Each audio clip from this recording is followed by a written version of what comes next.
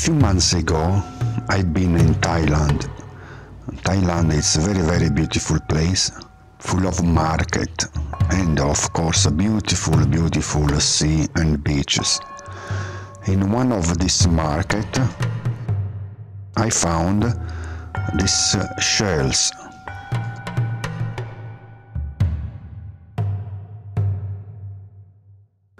They wrapped them up for me and I took them here in Australia, where I live.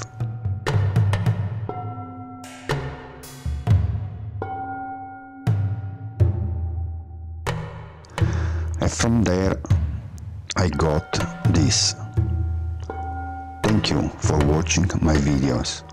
Ciao.